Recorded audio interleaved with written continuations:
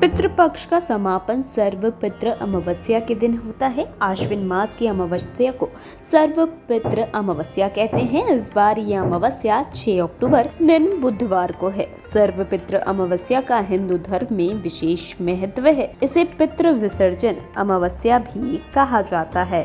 सर्व पितृ अमावस्या 6 अक्टूबर को सर्वाध सिद्धि के साथ गज छाया योग बन रहा है। साथ ही ग्रह मंडल के तीन प्रमुख ग्रह हस्त नक्षत्र में मौजूद रहेंगे।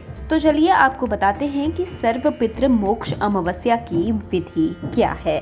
धर्म शास्त्रीय मान्यता में सर्वपित्र अमावस्या पर योग, नक्षत्र और ग्रहों की प्रबल स्थिति में कुतुब काल के समय पितरों के निमित्त तर्पण, पिंडदान कर, ब्राह्मण भोजन, गाय कौआ को भोजन का भाग तथा भिक्षुकों को अनाज तथा तीर्थ पर वैदिक ब्राह्मण को वस्त्र, पात्र का दान करने से पितरों को उसका महापुण्य फल प्राप्त होता है। साथ ही श्राद्धकर्ता को मनोवांछित फल की प्राप्ति भी होती है।